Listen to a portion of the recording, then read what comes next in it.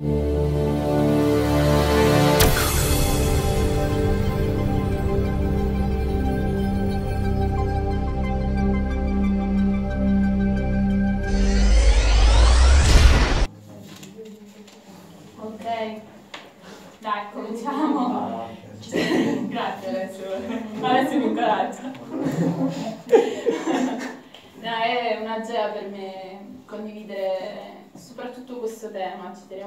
tanto, anche perché ultimamente lo Spirito Santo sta parlando prima a me di questo tema, eh, proprio la chiamata di Dio, e con tante sfaccettature che oggi cercheremo un po' di affrontare.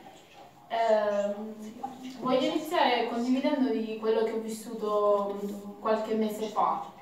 Lo Spirito Santo mi parla molto durante la notte in dormiveglia, forse perché sono un attimo sconcentrata, quindi lui riesce a parlare meglio, probabilmente noi ascoltiamo meglio quando dormiamo, sì, parliamo poco insomma, almeno spero. E, e vidi una visione molto chiara. E, vidi un bambino che rincorreva in un prato e rincorreva una farfalla. Vidi proprio questa scena, un bambino che correva in un prato eh, rincorreva una farfalla. Avete presente i bambini quando vogliono acchiappare le farfalle, no? E vidi proprio questa scena, vidi questo bambino che cercava di afferrare questa farfalla e questa visione finiva così, che la prendeva e la teneva stretta. E mi sono svegliata. E ho detto, Spirito Santo, ma, ma che cosa vuol dire? E lo Spirito Santo mi ha detto, vedi, voi siete un po' come questo bambino, eh, voi pensate che tutte le cose che io ho riversato dentro di voi, come chiamata, come doni, talenti, come eh, tutto, un po' tutto quello che siamo, il nostro carattere, i nostri sogni, eh, pensiate sempre che non servino o che serve qualcosa e qualcosa invece da accantonare. Ma Dio mi diceva, non è così. Voi dovete iniziare a capire che ogni parte di voi, ogni briciola del vostro carattere è stata creata da me e ha un obiettivo. Non ci sono cose che vanno bene e cose che non vanno bene. Ci, tutto, se noi vogliamo, poi corrisponde al regno di Dio, opera per il regno di Dio.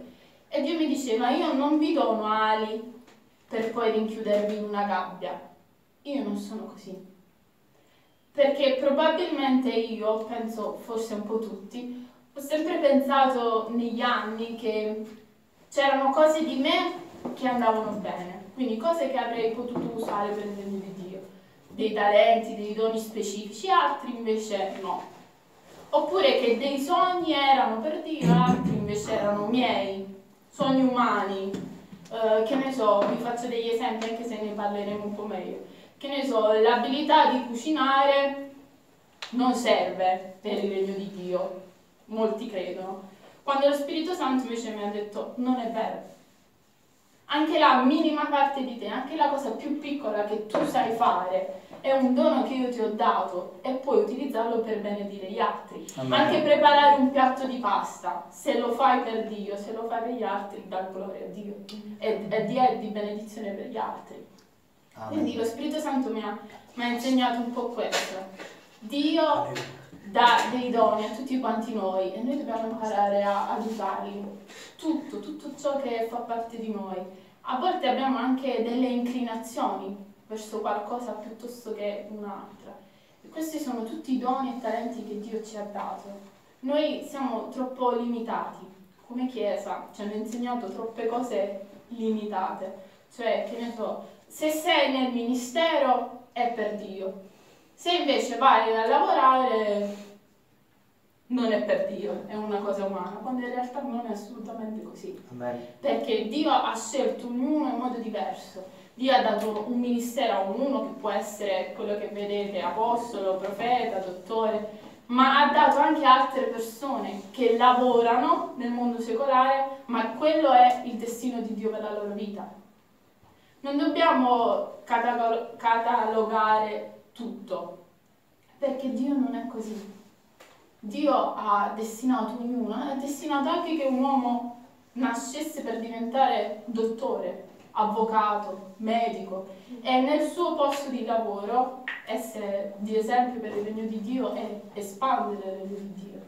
Dobbiamo imparare questo, perché tutti ci focalizziamo su una cosa, ok, se sei profeta lavori per il regno di Dio, se invece lavori in panetteria, quando non è così, non Amen. è assolutamente così. E così frustriamo le persone e cerchiamo tutti quanti di andare verso un obiettivo che alla fine, se non è il tuo, non ti porterà... Puoi essere anche il più grande evangelista del mondo, ma se quello non era il destino di Dio per la tua vita, tu ti sentirai sempre male, sempre frustrato perché non è il ministero in sé, capite? È il centrare la perfetta volontà di Dio per la tua vita. Quindi è perché sono nato? E come si fa a parte a rispondere a queste domande? È semplice. A ognuno di noi Dio ha dato dei sogni dentro, delle inclinazioni. Lo vedremo, ma intanto voglio aprire un po' così una parentesi. Puoi chiederti cosa arde nel mio cuore? Spesso lo, lo dicevo ai ragazzi, come fai a capire qual è il destino di Dio per te? Rispondi a questa domanda nel tuo cuore. Cosa arde nel tuo cuore? Qual è la vita che desideri senza la quale tu non potresti vivere? Allora, per me è questo, è molto di più. Non mi sarei mai immaginata un'altra vita se non questa, ma perché è il destino di Dio per me. Amen. Ma il mio è il mio, il tuo è il tuo. Una persona mi potrebbe rispondere, io desidero diventare un medico. Amen, gloria a Dio che sia per la gloria di Dio, vai. E vedremo anche nella Bibbia quante persone hanno centrato la volontà di Dio, magari per gli altri stavano sbagliando, quando in realtà quello era il volere di Dio. Dobbiamo imparare a capire queste cose, dobbiamo imparare a allargare la nostra mente, perché il regno di Dio è ovunque, deve essere ovunque. Il regno di Dio non è nelle quattro mura, il regno di Dio è nella politica, il regno di Dio è nella musica, il regno di Dio è nell'arte, il regno di Dio è fra gli avvocati, il regno di Dio, il regno di Dio ovunque, è ovunque, fra i meccanici, ovunque, qualsiasi posto voi immaginate, lì c'è il regno di Dio. Io non posso arrivare, eh, che ne so, in, non posso arrivare a diventare, ad avere influenza nel mondo di avvocati o nell'arte o nella musica, perché non è la mia chiamata ma forse qua in mezzo c'è qualcuno che può, perché è la chiamata di Dio. Io non posso arrivare a avere influenza nella politica, perché non è la mia chiamata, ma c'è qualcuno che Dio ha creato, ha fatto nascere con questo destino, per avere influenza nella politica. Amen. È un esempio, ovviamente. E se questa persona non c'entra nell'obiettivo, tutti ne risentiremo. Tutti. È vero. Quindi l'importante è iniziare a capire questo, cosa c'è nel mio cuore, cosa arde, perché se Dio ha messo un desiderio nel tuo cuore è facile da capire. Devi solo rispondere a questa domanda. Qual è la vita che voglio fare, senza la quale io, io non ne immaginerei un'altra? Allora, al 99% quella è la tua strada. Quella è la strada che Dio vuole per te. Amen? E leggeremo dei passaggi, leggeremo un po' oggi. In Esodo 2 se non avete la Bibbia ditelo che ve la procuriamo, eh. Esodo 2 dal versetto 11.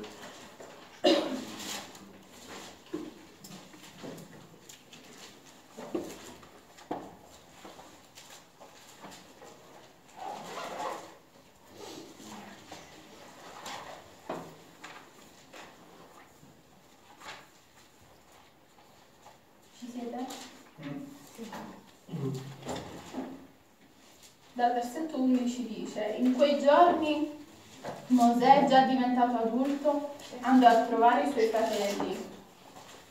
Siete?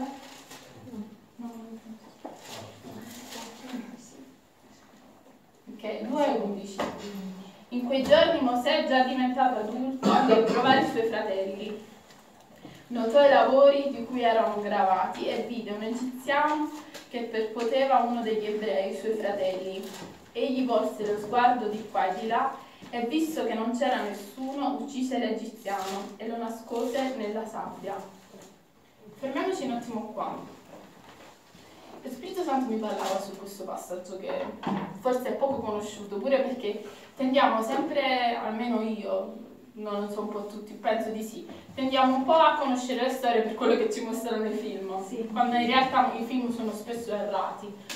Cioè, la Bibbia insegna che Mosè sapeva chi era, sapeva di essere un ebreo, non l'ha scoperto come nei film eh, all'improvviso, lo sapeva bene di essere un ebreo. E qui c'è uno dei passaggi iniziali dove un po' apre un po' tutta la sua strada, tutto il suo destino. E qui vediamo un Mosè, io vedo un Mosè liberatore. Vedo un Mosè che fra, vede un ebreo e un egiziano litigare, avere una discussione ovviamente forte, non stiamo parlando che litigano due amici, stiamo parlando padrone e schiavo, no? E dice che lui ha un attimo così dire, ovviamente quello che fa è sbagliato, però sto prendendo ovviamente l'esempio, e dice che si aizza contro l'egiziano e lo uccide. Ora noi tutti sappiamo che Mosè, perché è conosciuto Mosè? Do- sì, tutte le cose che ha fatto, ma perché lui è stato il liberatore del popolo di Israele, giusto? Ma eh, qui è l'inizio. Dopo succede, vi ricordate la storia del pruno, che Dio parla a Mosè e gli dice tu sei il liberatore che io ho scelto. E lì ci sembra un Mosè quasi che scende dal pelo, no? Per dire io. Quando poi in realtà, se noi torniamo alle origini qui in questa storia, vedremo che il DNA di Dio, il destino di Dio era già dentro di lui e qui già si vede come lui lo espone. Inconsciamente sicuramente, ma lui è già il liberatore che Dio aveva preparato. Amen. Cioè, che cosa voglio dire? Voglio dire che la chiamata di Dio non scende all'improvviso, è già dentro di noi. Amen. Fin da piccoli, quanti di noi abbiamo detto da piccoli, io desidero viaggiare, io desidero cantare, io desidero suonare, io desidero cucinare, io desidero... Noi spesso sottovalutiamo queste cose, quando in realtà è Dio che le insita nel cuore di ognuno. E qui vediamo Mosè all'inizio, era anche giovane perché poi passano 40 anni, passano tantissimi anni. E vediamo all'inizio subito il suo istinto di liberatore. Vedete che quando poi Dio gli ha parlato, Dio gli ha dato solo una conferma di ciò che lui già sapeva dentro di sé. Vi ripeto, sicuramente era inconsciamente, eh, perché a volte noi facciamo delle cose e neanche ci rendiamo conto di quello che facciamo, che in realtà in quelle cose c'è già il destino di Dio. Eppure qua vediamo Mosè già liberatore, già che cioè quello che ha fatto, noi lo vediamo un po'. Sì, vabbè, cosa avrà fatto? No, lui ha perso la sua posizione per quello che ha fatto in questo momento. Perché quando poi leggiamo più avanti, lui iniziò a capire che tutti conoscevano questa storia e sapeva che il faraone gli avrebbe fatto passare questo scarro. E quindi che fa? Scappa.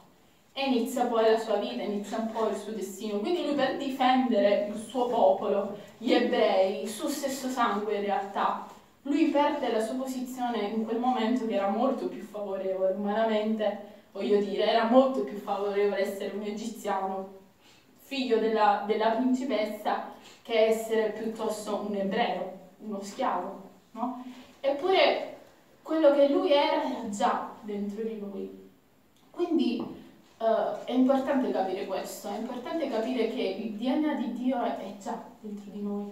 Non arriva né quando arrivi a Cristo e non arriva neanche all'improvviso. Fin da, fin da piccolo, fin da piccolo tu hai un'inclinazione, hai dei sogni. E sono quei sogni che Dio mette dentro di te. Dio non fa distinzioni come purtroppo, purtroppo le facciamo noi. Mondo, chiesa, chiesa, mondo, mondo, chiesa. Dio non vede questo. Dio vede figli, vede figli ritrovati e figli sperduti. Quindi per questo quando lui crea i bambini, perché Dio li crea, quando Dio porta alla luce un uomo, una donna, già lui vede un destino. Magari anche inconsapevolmente, quanti uomini che non conoscono Dio come lo conosciamo noi hanno fatto però il volere di Dio? Tantissimi. Quando ero alla scuola domenicale, perché per un, po' sono stata alla scuola domenicale, la mia monitrice mi ha detto una frase che, che mi è rimasta, no? E mi ha detto, uh, ci insegnava e diceva, ascoltate, diceva, ma secondo voi l'intelligenza, i doni, i talenti, le inclinazioni, chi li dà? Dio li dà, certo. Allora ci ha detto, ed è un po' quello che vi voglio dire anche io, ci ha detto allora tutte le persone che usano l'intelligenza che Dio gli ha dato per il male, allora come, cosa mi rispondi? Gliel'ha data Dio o gliel'ha data Satana? Molti dicono gliel'ha data Satana ed è l'errore più grande che potessimo mai fare, perché non è così. Satana non dà niente a nessuno, Satana toglie. Satana non è in grado di fare doni, lui non li può fare, Satana non può creare. Noi ingrandiamo Satana quando in realtà lui è solo un angelo. Dio non ha contrari. Satana non può fare quello che Dio può fare. Molti, anche ai bambini ti dice, chi è il contrario di Dio? Satana. Non è vero, Dio non ha contrari. Il contrario di Satana è un angelo. Gabriele, Michele, è un esempio. Possono essere il contrario di Satana, perché Satana è un angelo decaduto. Quindi un angelo di luce è il suo contrario. Quindi Satana è potente quanto lo è Gabriele, Michele e tutti gli altri angeli anche arcangeli ovviamente, poi c'è la schiera di angeli, però per dire, Dio non ha contrari. Satana non può creare, Satana non può essere in tutti i posti contemporaneamente. Satana è un angelo, può fare quello che tutti gli angeli fanno può fare quello che tu gli dai da fare. Satana non ha altra libertà se non quella che tu stesso gli dai. Questo è già è, è buono da, da, iniziare a capire. Da, Satana non può dare intelligenza, Satana prende quello che Dio ha dato ai uomini e lo perverte. Cioè, un bambino nasce eh, con intelligenza avanzata, no?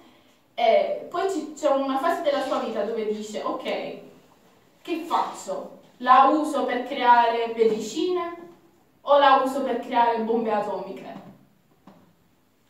Lì c'è un bel combattimento, ovviamente fa un bambino, sto parlando che non conosce Dio come lo conosciamo noi, che non conosce Gesù realmente.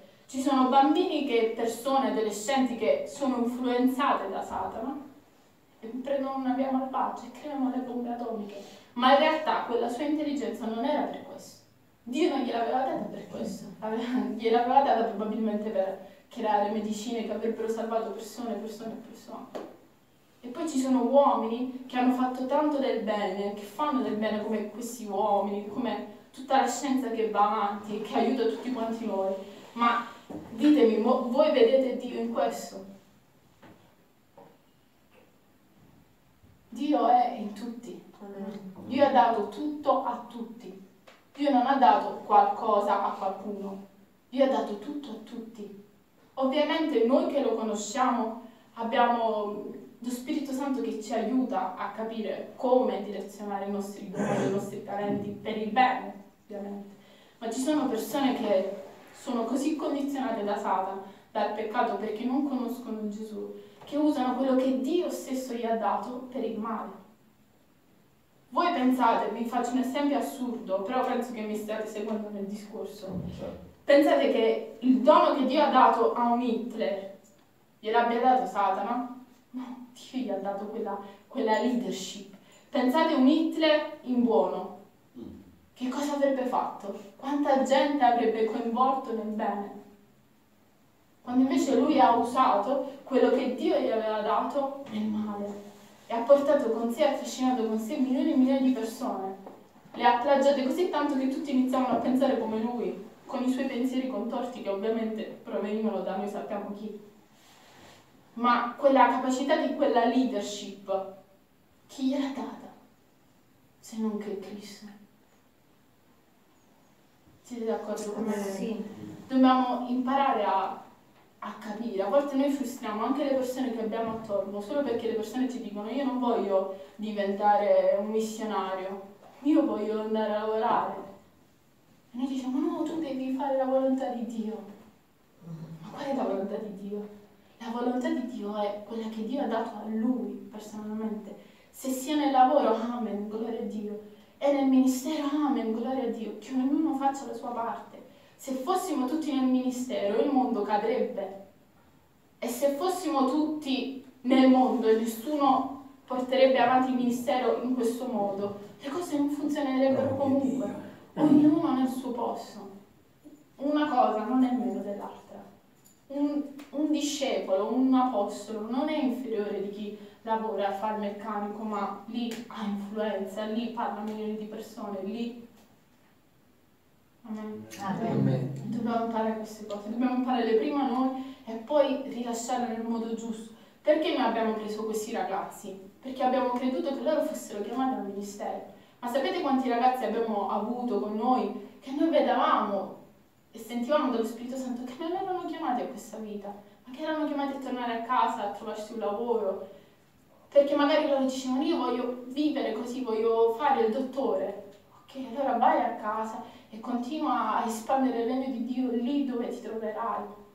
Non dobbiamo, dobbiamo capire, dobbiamo capire ognuno di noi qual è la volontà di Dio. Ognuno ha una volontà di Dio che è perfetta nella tua vita. Ti ripeto, puoi fare anche l'apostolo, ma se quella non è la volontà di Dio per te, non sarai felice comunque. E fai pure i danni. Dobbiamo capire, dobbiamo smettere di frustrarci e frustrare perché non è così che funziona. Perché Dio ha scelto Mosè per essere liberatore. Non ha scelto Mosè per essere l'apostolo, ma per liberare un popolo. Capite? Non è, non è una cosa che è classica, ok? Ti scelgo per diventare sacerdote. No, l'ha scelto per essere il liberatore. E abbiamo visto che già fin dall'inizio questo istinto era dentro di lui fin da piccola era dentro di lui, qua era all'inizio, era piccola, era giovane, eppure era dentro di lui il DNA di un liberatore. Che DNA hai dentro? Quello che Dio ti ha dato, devi scoprire, intraprendere quella strada. Non importa chi ti dirà sì, chi ti dirà no, l'importante è che tu sia felice, che tu sia soddisfatto, che tu incontri Gesù quando lo incontrerai faccia a faccia e gli dirai ho fatto la tua perfetta volontà l'ho centrata, l'ho voluta centrare, qualunque essa sia, ma io mi auguro, vi auguro che possiamo dire questo a Cristo un giorno.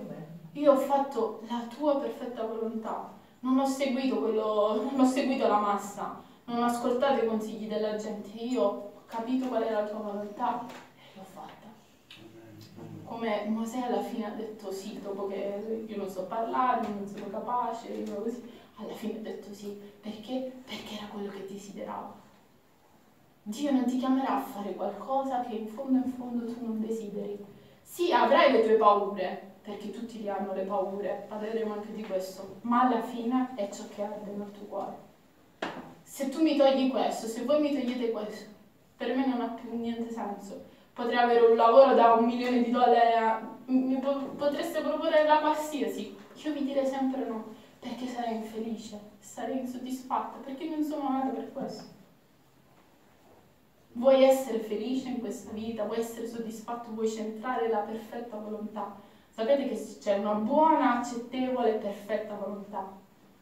Io faccio questo, sì, è, è buono, è accettevole, ma non è perfetto. Per essere soddisfatti in questa vita dobbiamo centrare il centro, dobbiamo mirare il bersaglio. E il bersaglio è questo, la perfetta volontà di Dio per la tua vita, lo scopo per cui sei nato che è sì conoscere Dio, che è sì benedire gli altri, ma è ancora più nello specifico dove, come, quando. Amen? Amen. Leggiamo altri due passaggi. In primo Samuele 17.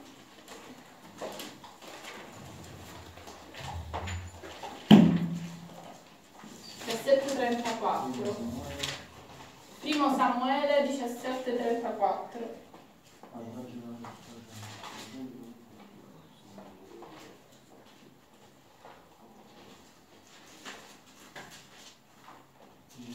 Sì. 17 versetto 34.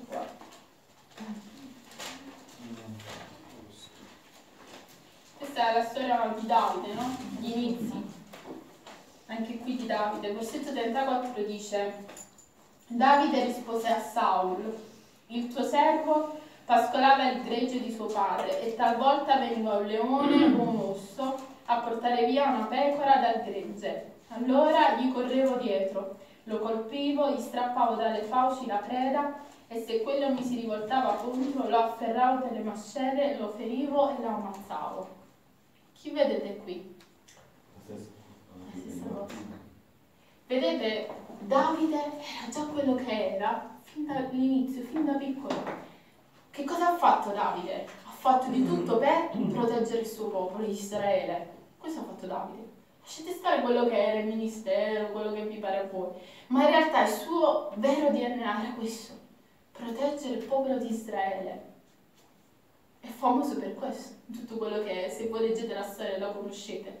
E qua che cosa dice? Dice io ho visto un orso, ho visto un leone attaccare il mio gregge e ho fatto di tutto per liberare le mie pecore dall'orso e dal leone. Cioè, mi sembra una cosa normale a voi, che un ragazzino di 16-17 anni vede un orso e un leone, no? Un cagnolino, una volpe, un orso e un leone aggredire il proprio gregge e lui dice che spavaldo com'era, nel senso buono, aggredisce lui, il leone e l'orso, tanto da ucciderli. E qui dice al re dice se l'ho fatto una volta, posso farlo ancora sta dicendo se questo è il mio DNA, potrò farlo anche questa volta. Infatti dopo dice che cosa sarà mai questo filisteo che ci attacca, che insulta il popolo di Israele. Vedete come il destino di Dio era già insito dentro di lui, il fatto di essere un, un protettore, un re. Non è diventato re solo perché Dio l'ha scelto attraverso Samuele, era già re è arrivato solo l'attimo in cui quello che era ha preso forma. Questo è successo. E quando Samuele ha avuto re Davide, sì, rimani, perché alla fine è tutto per fede. Alla fine i sogni che hai, che ci credi, ci credi sì, ma sono così grandi a volte che tu dici, quando ti arrivano e prendono forma davanti a te, una parte di te rimane esterefatto perché dici ma allora non sono pazzo.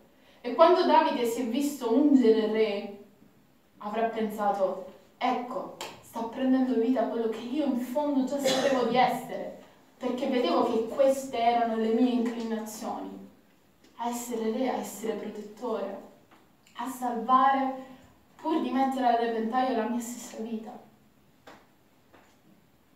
È importante anche per noi per voi soprattutto in questa fase della vostra vita.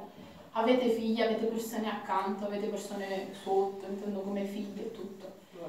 Chiedete allo Spirito Santo qual è la sua volontà, perché io voglio aiutarlo come mamma, come papà, come fratello maggiore, come sorella maggiore, a indirizzarlo verso quella che è la sua volontà, la volontà di Dio per lui. Quali sono le sue inclinazioni? Cioè io, io mi si raddrizzano i piedi dalla testa quando penso delle mamme in Cristo che vedono i bambini che hanno voglia di ballare e dicono no perché, perché no, per non aggiungere quello che dicono. Siamo fuori di testa, potentemente fuori di testa. Chi, chi ha dato queste, queste, inclinazioni, queste doti? Satana, volete di Dio. Il ballo, il canto, la musica, il voler parlare, il volere sono tutte cose che provengono dall'alto. La Bibbia insegna tutti i buoni doni vengono da Dio. Tutti. E noi dovremmo imparare a incoraggiare le persone, non a frenarle perché secondo noi quello è da Dio e quella cosa è diabolica. E frustiamo i ragazzini che poi arrivano a 17-18 anni e dicono ma vai tu è tuo Dio. Ho 26 anni quindi mi, ricordo questa fase perché noi non riusciamo a capire invece che ognuno di noi è unico e particolare. E anche il fatto che un bambino voglia, voglia cantare, voglia ballare, voglia stare con gli amichetti, è positivo, è tutto positivo, perché Dio l'ha creato in quel modo. E noi che abbiamo responsabilità, parlo in questo momento ai genitori, che hanno responsabilità sui loro figli, imparate a parlare con lo Spirito Santo e dice queste cose. Signore, fammi capire qual è la sua inclinazione, qual è la sua volontà, anche per le scuole che farà, per il lavoro che sceglierà, se nel ministero, se nel lavoro, perché io sarò con lui in quella scelta. Amen. E vedrete che i vostri figli, i vostri fratelli, le vostre sorelle vivranno una vita piena e soddisfatta perché uno avranno il vostro appoggio e avere appoggio di persone che, che ci sono accanto è tutto. Qui ci ah. sono ragazzi che la maggior parte dei loro combattimenti è proprio perché non hanno nessuno accanto che gli dica ok, vai, se nella volontà di Dio inseguila, ma che hanno genitori che li opprimono. Quindi noi non vogliamo, io non voglio essere una di quelle che invece di investire sui sogni degli altri li opprime solo perché secondo me non è quello il posto giusto, perché io non sono nessuno. E noi dobbiamo imparare che anche se siamo genitori, o siamo amici, o siamo fratelli, non siamo nessuno. In confronto a Dio noi non siamo nessuno. Dio ha l'autorità suprema. Amen. Amen. Un altro passaggio in Giudici 5.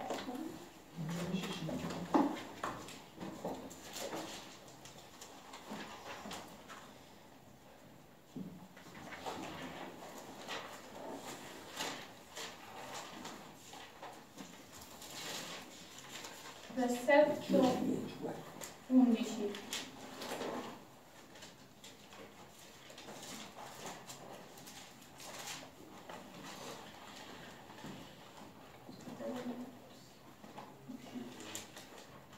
Ci siete voi? Io no. Ok, ti aspetto.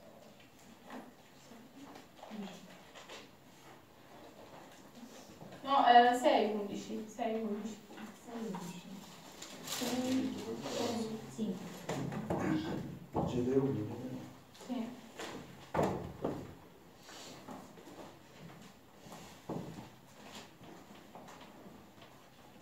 Ok. Ok. Dice, poi venne l'angelo del Signore e si sedette sotto il terebinto di Ofra, che apparteneva a Joas, a Biezerita, e Gedeone, figlio di Joas, trebbiava il grano nello strettoio per nasconderlo ai Madianiti. Siete a 6 11? Lo rileggo? Dice, poi venne l'angelo del Signore e si sedette sotto il terebinto di Ofra, che apparteneva a Joas Biezerita, e Gedeone, figlio di Joas, trebbiava il grano nello strettoio per nasconderlo ai Madianiti. Cosa fa qua Gedeone? Stessa cosa, uguale, uguale a quando abbiamo visto Davide, quando abbiamo visto Mosè. Tutti vedono il dopo, iniziamo a vedere le origini, perché lì c'è la chiave. Non vediamo sempre le grandi cose, perché tutte le grandi cose che ognuno di noi fa sono solo cose che Dio ci dà da fare. Cioè, il ministero in sé, o la grande chiamata, o si apre il mare, uh, eh, risorgono i morti. Queste non sono cose che gli uomini fanno, queste sono cose che Dio fa attraverso gli uomini.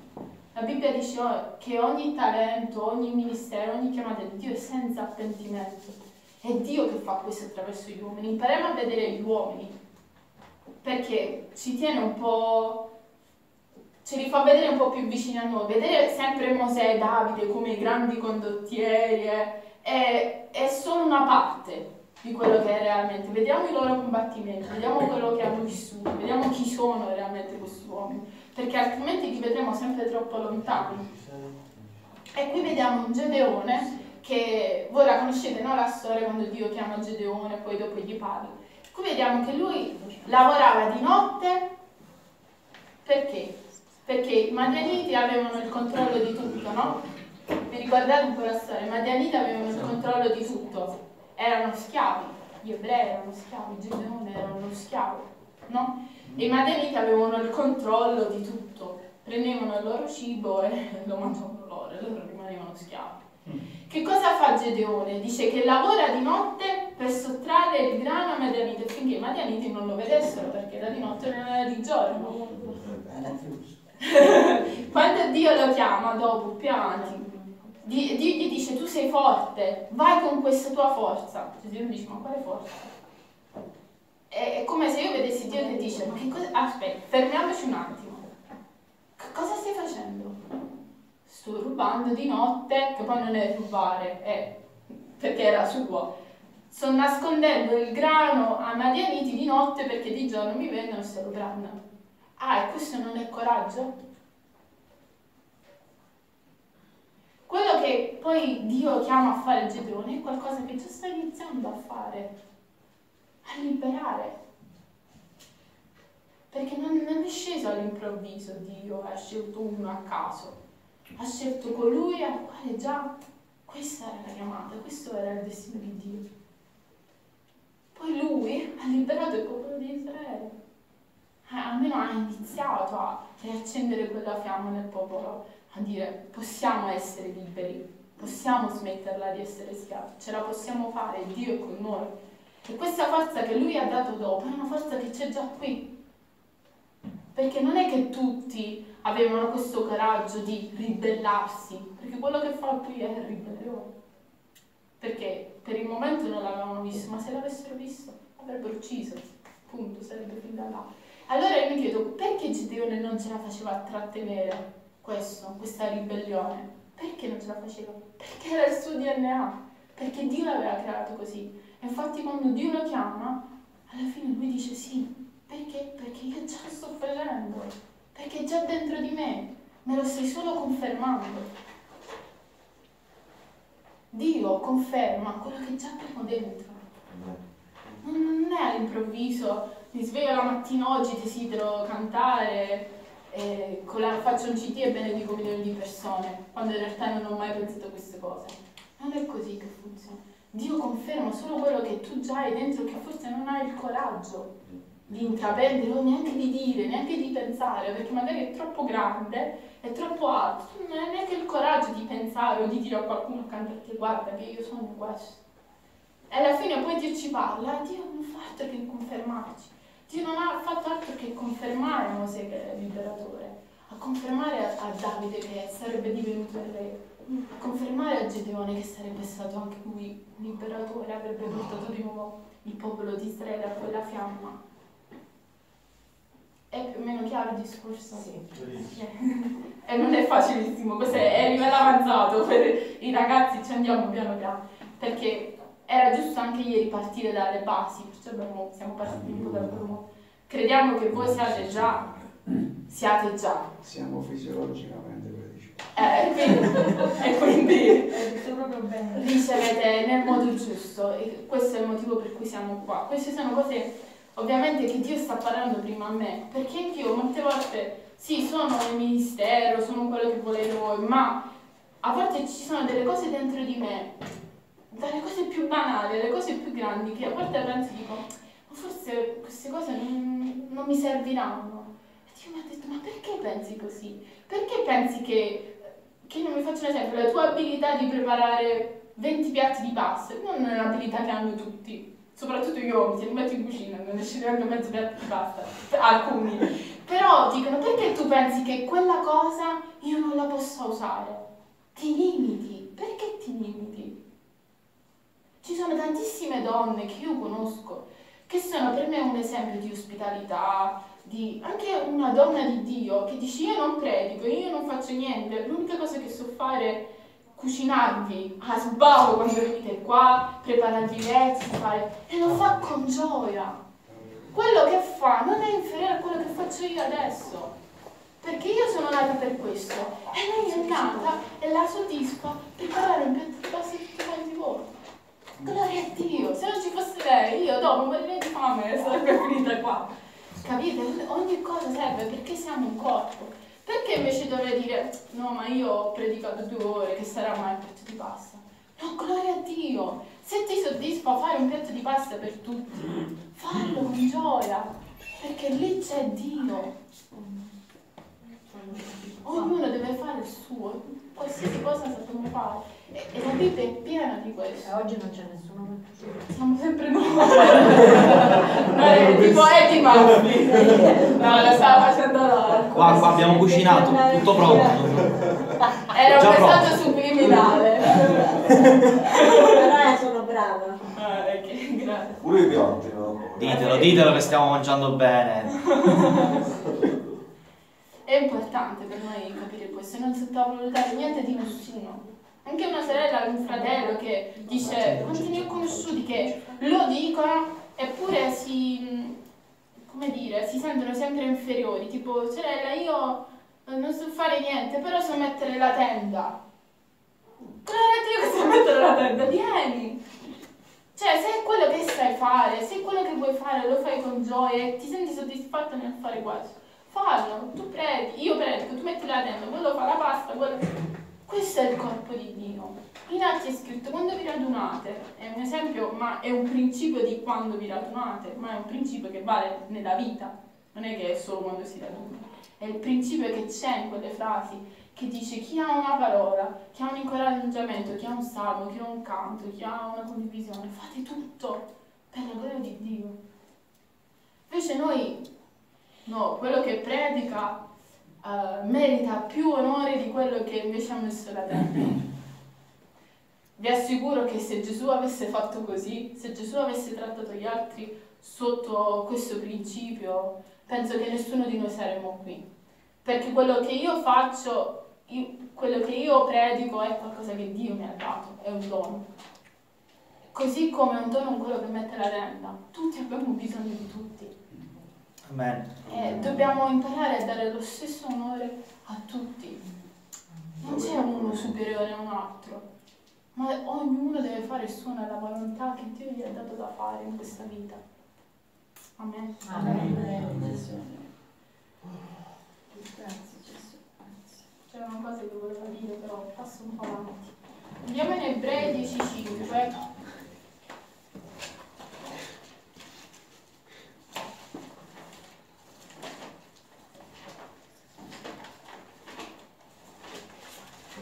Sì, Ebrei capitolo 10 verso 5.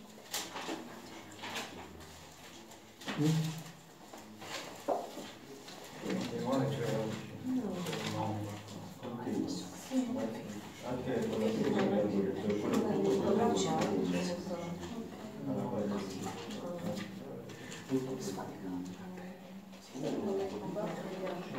Sì, ma comunque non è Va bene, Ebrei 10.5. Ci siete? Ah, dici. No, Sì, 10 versetto 5.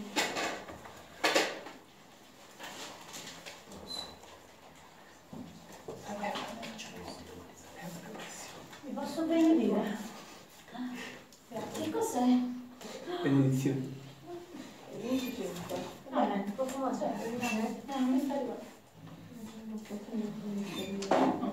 Ci Stai siete? dicendo che c'è qualcuno che Ha capito il concetto che lei ha il profumo e lo condivide. Migliora l'attenzione. Ah, ok.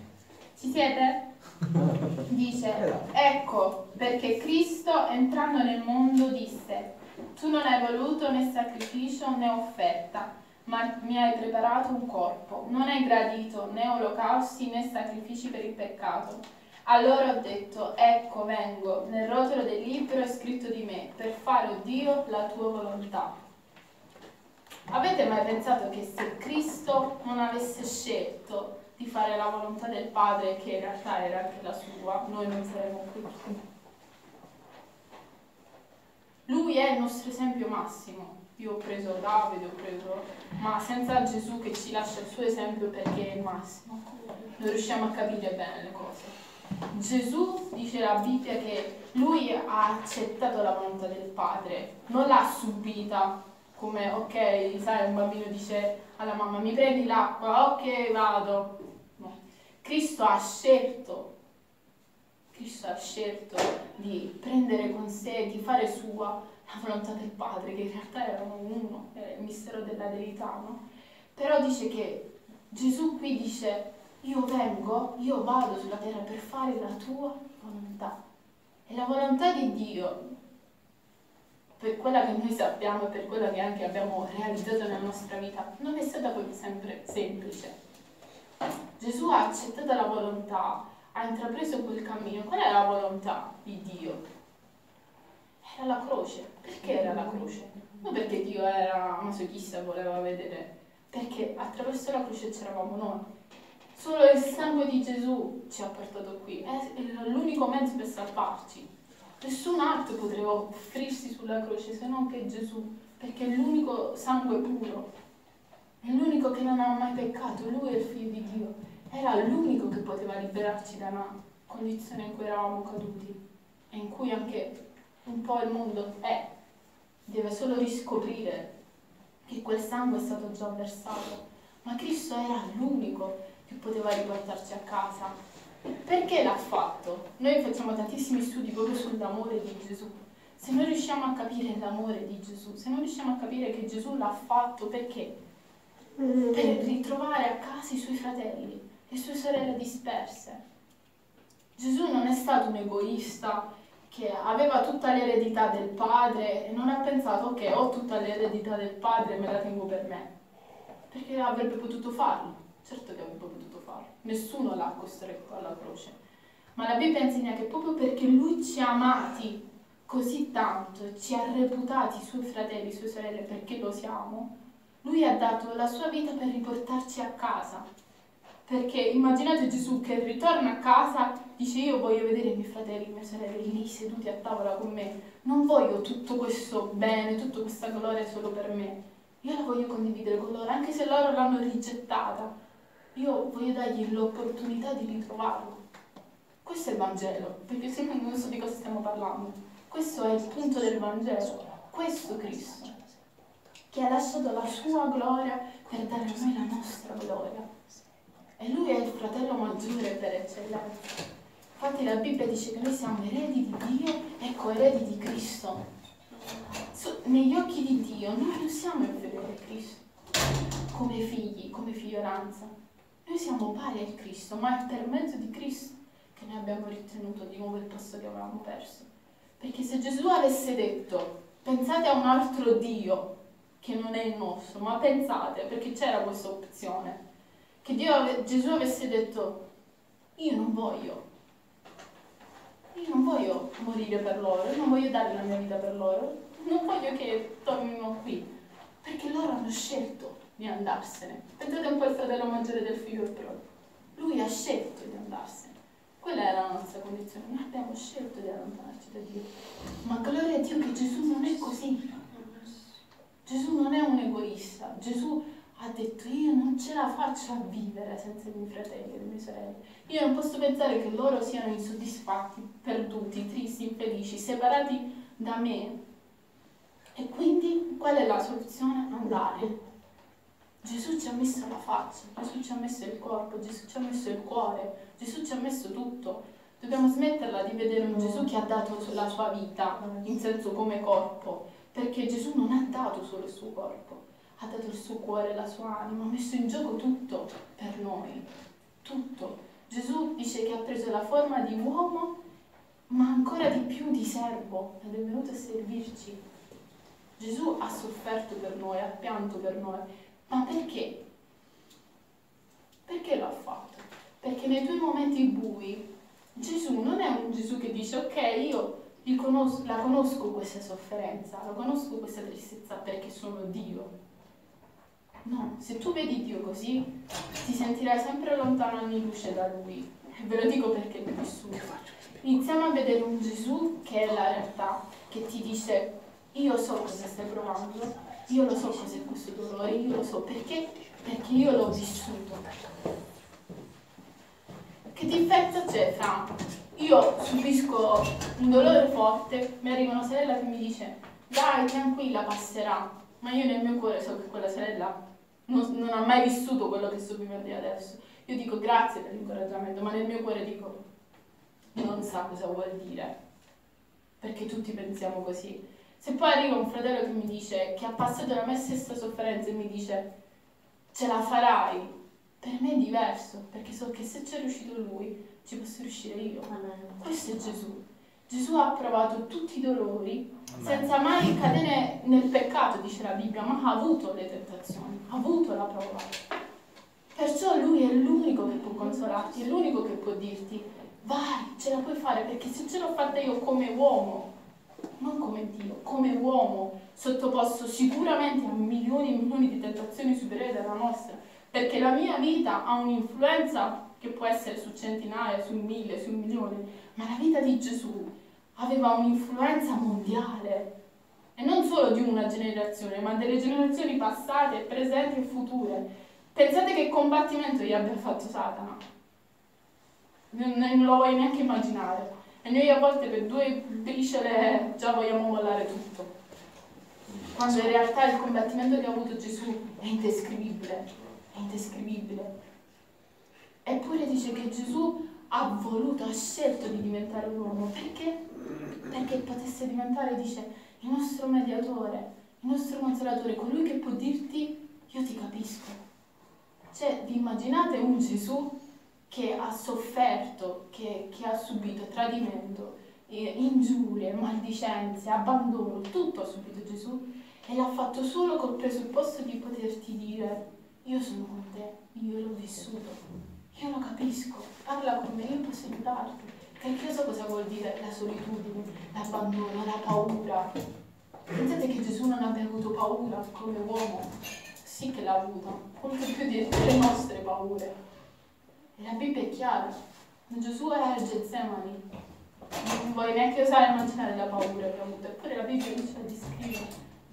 Vediamo un Gesù uomo che nella sua paura umana quasi vuole dire non ce la faccio, non ce la faccio, sono venuta al mondo per questo, per fare la tua volontà per la croce, ma in questo momento io non ci riesco, perché ho paura.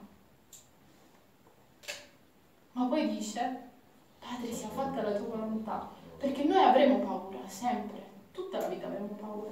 La differenza qual è? Lasciarci dominare dalla paura, ma non permettere alla paura di dominarci.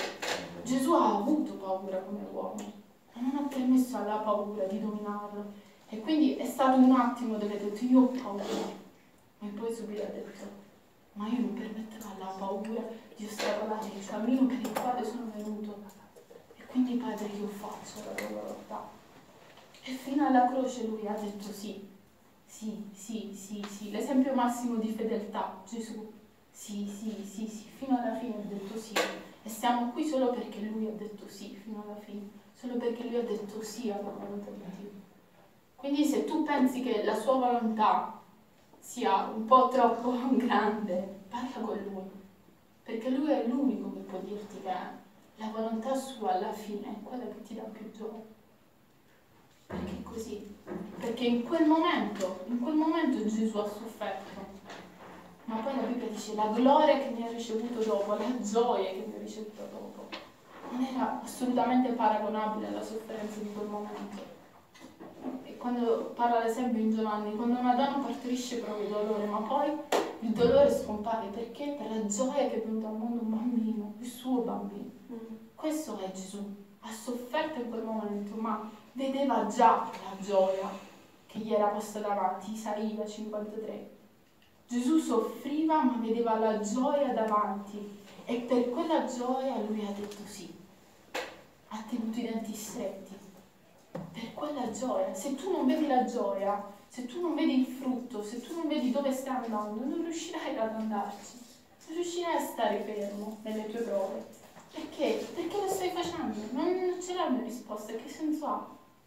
Non riuscirai a fare niente nella vita se non hai degli obiettivi. Ok, io soffro oggi perché? Perché devo arrivare lì. Quindi anche in questo momento io combatterò. A volte dico ragazzi, ragazzi non è importante come arriviamo. Ci sono dei momenti in cui corriamo, dei momenti in cui camminiamo, ma ci saranno dei momenti dove ci strascinicheremo. Non sa di nessuno. Trascineremo. A volte zoppicando, ma l'importante è che andiamo alla meta. L'importante è che raggiungiamo i nostri obiettivi. L'importante è che raggiungiamo il sogno di Dio. Non importa come. A volte è a rilento.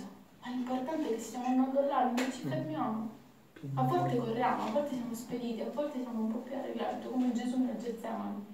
In quel momento non è stato molto spedito. In quell'attimo ci è andato quasi zoppicando la volontà di Dio. Ma ci è andato. Conta il traguardo, non conta come. Paolo dice, io ho corso, io ho finito la mia corsa, ho osservato la fede, adesso mi aspetta la corona della gloria. Tu dici, vedi Paolo dire questa frase, dici, ha corso, ma in realtà sappiamo che non ha sempre corso, perché la sua vita non è stata facile, perseguitato, rigettato dagli stessi fratelli. Tu dici, come fai a dire che hai corso? Perché è fede, perché tu sai che sei arrivato al traguardo, a volte con le lacrime, a volte a denti stretti, ma alla fine ce l'hai fatta. Gesù ce l'ha fatta e noi siamo qui per quello che Gesù ha fatto. E se lui ce l'ha fatta, fare la volontà di Dio, che non era una di quelle più semplici al mondo, voglio dire, ce la possiamo fare anche noi. Amen. Gesù, alleluia. Amen. Leggiamo l'ultimo passaggio, dai, magari concludiamo. Genesi 49, 10.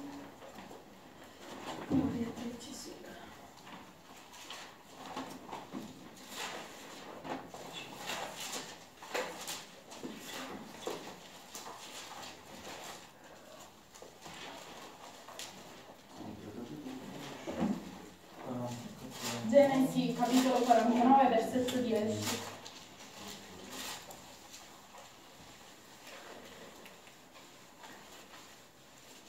Voi portate in Genesi, guardate che c'è scritto qua. Eh, versetto 10 dice, lo scettro, ve lo ricordate questo passaggio? Eh, Giacobbe, sì, Giacobbe quando lascia la- le benedizioni a tutti i figli, no?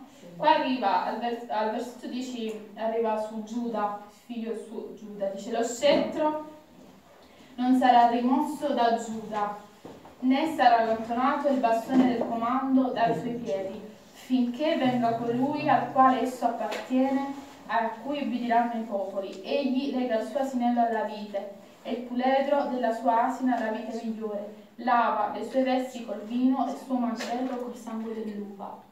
Qua sta facendo una profezia su suo figlio che si sarebbe avvirata dopo milioni e milioni di anni. Di chi sta parlando qua? Di Gesù, perché Gesù appartiene alla tribù di Giuda. Quindi suo padre dà la sua benedizione al suo figlio Giuda, ma non sta parlando qua di Giuda, sta parlando di Gesù. Dice, da te, dalla tua discendenza, figli, figli, figli, figli, tanti figli, arriverà, dice, colui che ha il bastone del comando e lo scettro non sarà rimosso. La volontà di Dio era scritta milioni e milioni milioni di anni prima. Che Gesù avrebbe avuto il comando, lo scettro del comando non sarà rimosso, la legalità, il regno apparterà a chi ti verrà dopo. Gesù della tribù di Giuda era colui del quale qua parlano le scritture. Vedete come noi a volte pensiamo che il nostro contributo in questa vita sia quasi inutile, ma non è così. Dio ha scritto di te prima ancora che tu venissi al mondo. Ha scritto tutto, non ha scritto solo le grandi cose che farai. Perché vi ripeto, noi pensiamo che ci siano grandi cose cose piccole, quando in realtà non è così. Pensate che dare una carezza a una persona e dire vai avanti sia una cosa piccola, in realtà non lo è. Magari quella persona ha bisogno di quella parola per prendere decisioni radicali nella sua vita, ha bisogno di quel tuo incoraggiamento. Dici sì, ma nella vita non ho mai fatto grandi cose. O no, così pensi molto limitato. Non sai quante persone hai benedetto, quante persone hai incoraggiato, a volte con un sorriso, a volte con uno sguardo, a volte con un silenzio. E Dio aveva scritto quel giorno, Dio aveva deciso quell'attimo nella tua vita. Devo concludere solo con questa storia che mi, che mi piace tanto. Eh, spesso noi pensiamo a Paolo, no? Il grande Paolo, no? E in realtà lo è stato, perché sicuramente quello che, che ha affrontato, voglio dire, a volte noi vogliamo lasciare per così poco, quando in realtà se solo vedremo un po' i grandi uomini, quello che, quello che hanno vissuto pur di, non dobbiamo paragonarci, però a volte questo ci aiuta a capire che a volte lasciare la chiamata di Dio solo perché non abbiamo, per esempio parliamo, parlo di noi che siamo chiamati in questa vita perché è più facile fare questo esempio, lasciare questa chiamata solo perché non ho i riscaldamenti mi sembra una cosa davvero misera in confronto a...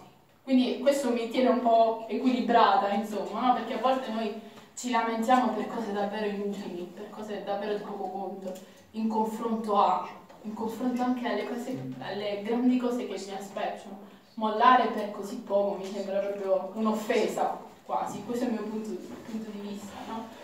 Se vediamo Mosè che in Ebrei 11 è scritto, lasciò i piaceri dell'Egitto perché vide l'invisibile, vide la gloria, ma intanto lasciò i piaceri dell'Egitto per raggiungere poi la volontà di Dio.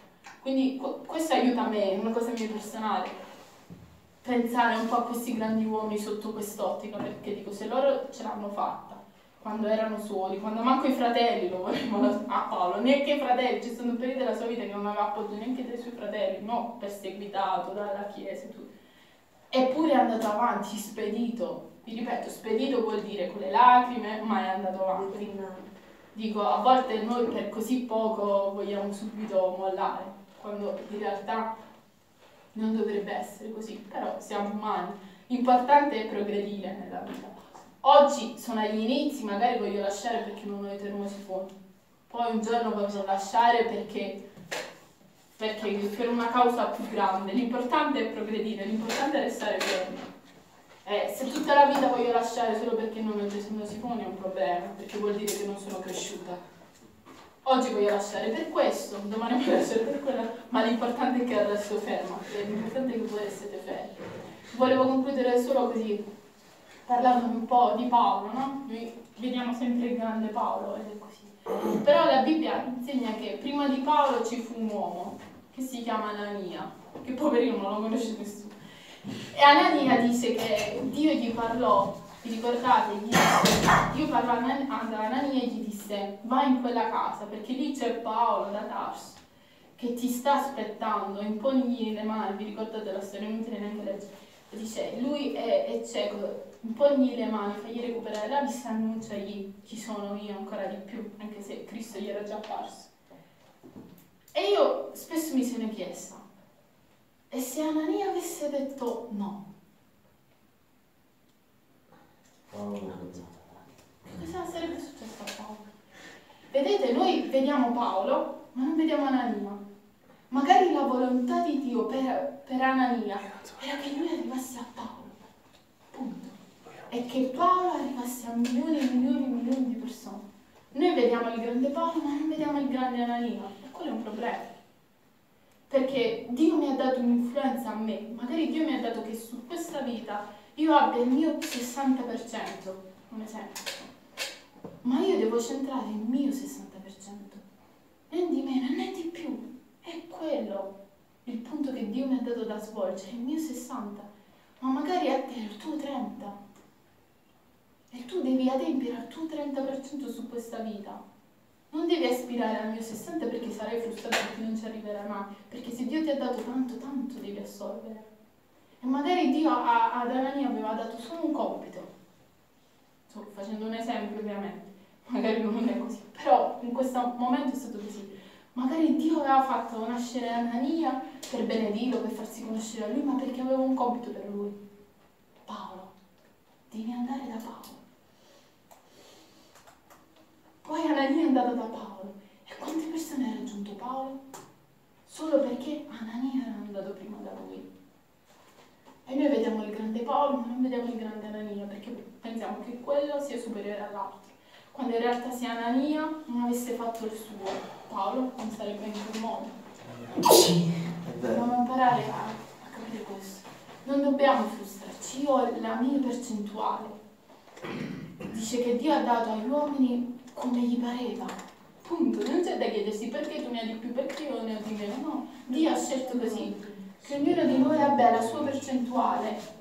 Chiediti qual è la mia percentuale, cosa devo fare io in questa vita? E falla, fa ciò che Dio ti ha chiesto. Non cercare di fare quello che gli altri piace, o vuoi fare, voglio diventare quello, ma in realtà no. Non sei tu, non è il tuo destino, perché sarai frustrato e infelice tutta la vita. Cerca il tuo destino, cerca il tuo destino e compi il tuo destino, perché quello sarà 100%. Non importa se i grandi evangelisti arrivano a migliaia di persone e tu ne arrivi a uno, non importa la quantità, importa la qualità. Magari Anania non ha cercato quantità di persone, ma una persona di una grande qualità, Paolo. Che lui poi ha fatto quello che Anania non ha potuto fare, toccare milioni di persone. Questo è il corpo. Siamo legati l'uno a un altro. Se io salto quello che è il mio compito, in tilt tutto. Perché è importante che io faccia il mio, che tu faccia il tuo, che ognuno di noi faccia il proprio. Amen. Amen. Spero di essere stata più... c'erano tante cose che volevo dire, però sento che, che era giusto dire questo. Eh, io prego realmente che queste siano cose che scendano nel cuore, perché sono un po' stanca di vedere giovani, persone frustrate solo perché non sono diventate chissà chi. E rifiutano un po' quello che sono solo perché lavorano in pizzeria piuttosto che essere a posto. Perché gli è stato insegnato che una cosa era migliore dell'altra, che una era il volere di Dio e l'altra era umanità. In realtà non è così, non è assolutamente così. Quindi voglio che tutti noi realizziamo questo e che di conseguenza rilasciamo questo. Prima le persone più vicine e man mano sempre di più a larga scala, perché è importante, è importante che ognuno arrivi dove deve arrivare, perché ci sono medici che sono unti da Dio e sono chiamati da Dio e fanno cose che neanche immaginiamo. Ci sono avvocati, ci sono politici, ci sono uomini d'arte, ci sono uomini nella musica che hanno un'influenza e possono arrivare a persone che noi non potremo mai arrivarci. E hanno capito che non sono apostoli, non sono profeti, non sono pastori, ma sono quello che Dio gli ha chiesto di essere e fanno quello con gioia. Il regno di Dio si espande Così si deve espandere il regno di Dio ovunque, dovunque, in ogni ambito, perché ogni ambito è da Dio. Perché in ogni ambito ci sono persone che Dio vuole raggiungere, in ogni ambito ci sono persone che Dio vuole raggiungere. Amen. Amen. Amen.